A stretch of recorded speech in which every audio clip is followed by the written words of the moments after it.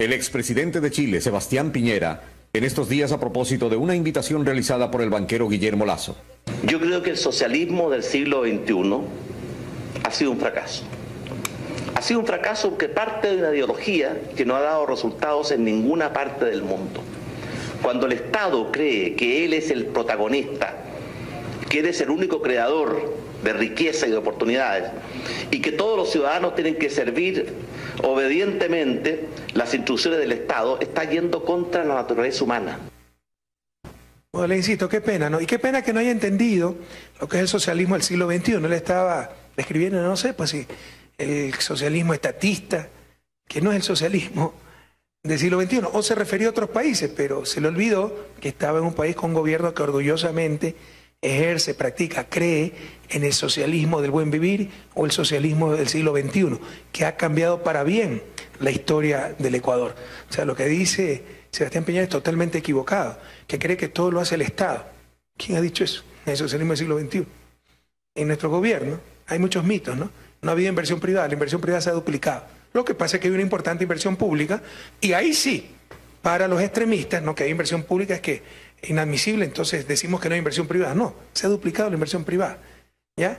Decir que, que no se da lugar a, la persona, lo que más respetamos y defendemos la libertad individual, pero también creemos en la necesidad de acción colectiva, de una sociedad organizada, ejerciendo esa acción colectiva a través del Estado, en lo que no cree él. Entonces, y lo que tal vez, y cómo estropea la historia, porque lo que ha fracasado en América Latina, no el socialismo, pues nunca se ha practicado, excepto Cuba, que tiene los mejores indicadores de sociales, sino el neoliberalismo, el capitalismo más salvaje, que ha mantenido en el retraso a nuestras, a nuestras economías, naciones, democracia. Eso, eso es lo que ha fracasado. Ah, pero en Chile tuvo éxito, pero cuidado, pues no puede ser independiente. Primero la historia chilena. Chile siempre fue de los países con mayor desarrollo relativo de América Latina. Y segundo, una dictadura de 17 años. Pues que tuvo para experimentar, lo que le dio la gana, sin límites, sin escrúpulos. Porque, por ejemplo, el fracaso del modelo chileno a inicio de los 80 no se hubiera resistido en democracia, se hubiera caído el gobierno, fue un fracaso total. Pero en dictadura, ¿no? Eh, pudieron continuar hasta que funcionó el modelo, pero cuidado, Chile siempre fue de los países con mayor nivel de productividad, con mayor desarrollo relativo, hay mucho mito, mucha propaganda. De hecho, el país más desarrollado de América Latina se llama Uruguay. Pero como no practica el neoliberalismo, sino el socialismo, está el Frente Amplio Socialista en Uruguay. Ahí no dicen esta boca es mía, ¿no? Las, burocracias internacionales, etcétera, porque son es propaganda del modelo neoliberal. Entonces el modelo es Chile, olvidándose del pequeño detalle de 17 años de dictadura. Pero en verdad el país más desarrollado de América Latina se llama Uruguay, que tiene un modelo socialista muy parecido al socialismo escandinavo. Pero si estos conceptos teóricos fueran pocos, bueno, comparemos los resultados para ver qué funcionó y qué fracasó. Aquí tengo el periodo del presidente Piñera, ¿no? a quien estimo mucho, pero creo que ha cometido un error grave, una grosería hacia el gobierno nacional. ¿no? 2010, él entró en marzo del 2010, ¿ya? Y dejó en marzo del 2014 el gobierno.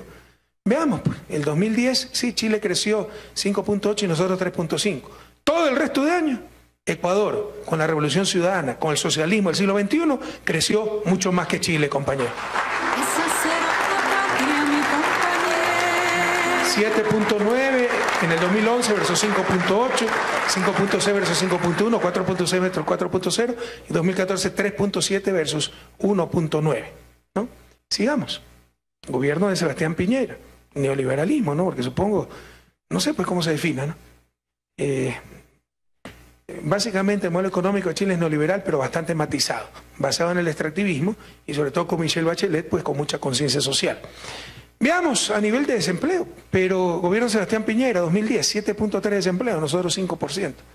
2011, 6.6, nosotros 4.2. 2012, 6, nosotros 4.1. 2013, 6.1, nosotros 4.2. 2014, 6.2, nosotros 3.8. Entonces, ¿cuál es el modelo fracasado de acuerdo a la cifra? Si le hemos hecho un paseo como socialismo del buen vivir a los indicadores que tuvo durante su periodo. Pero sigamos, sigamos, que todavía hay más.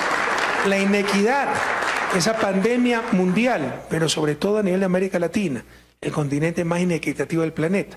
Chile es un país tremendamente inequitativo. ¿eh? ¿ya? Nosotros tal vez teníamos ese mismo nivel, pero ya en el 2009 mostrábamos mejores indicadores. Esto es el coeficiente de Gini, que los que conocen un poco de economía saben que es el principal indicador de desigualdad. Mientras más cercano a uno, más desigual un país, mientras más cercano a cero, más igualitario un país. Los países más igualitarios están por 0,24. En promedio, Europa debe estar por 0,3. El promedio de América Latina es 0,5 aproximadamente. Y Chile es los países más desiguales. Es de los países más ricos, pero más desiguales. O sea, en promedio, el ingreso per cápita de Chile es muy alto, pero hay extremadamente ricos y extremadamente pobres. Bueno, en su gobierno, Chile redujo de 0.52 a 0.5 ese coeficiente de Gini, es decir, 1.5 de reducción. En nuestro gobierno, en el mismo periodo, nosotros redujimos 2.3 la desigualdad en Ecuador. Somos los campeones latinoamericanos en reducción de desigualdad, en la búsqueda de la justicia, compañero. Ese es el socialismo del siglo XXI. Y hoy Ecuador es un país mucho más equitativo, más pobre, pero más equitativo que Chile. ¿Ok? Y sobre todo durante el mandato de Sebastián Piñera. Sigamos. Y bueno, tal vez el dictamen final, el dictamen irrefutable el de nuestros pueblos, el que nos demos a nuestros pueblos. Él empieza con 55% de apoyo y termina con 29% de apoyo, perdiendo 26% de apoyo popular. ¿no? En el 2010 yo tenía 58% de apoyo y en el 2013, cuando dejaba el gobierno Sebastián Piñera, no es que decreció, aumentó en 15% ese apoyo, llegando al 73%. Creo que el fracaso es de otros. Y el socialismo del siglo XXI es un claro éxito en nuestra patria. Todos sabemos que Ecuador ya cambió. Y para no sacarle los indicadores de Bolivia, ¿no? Tal vez va a sacar los indicadores de Venezuela, que es un caso muy particular, ¿no? Pero Bolivia, Ecuador, realmente hemos transformado nuestros países en productividad, en justicia, en equidad, en democracia, gracias a esa palabra que fastidia a algunos, ese término, socialismo del siglo XXI, compañera.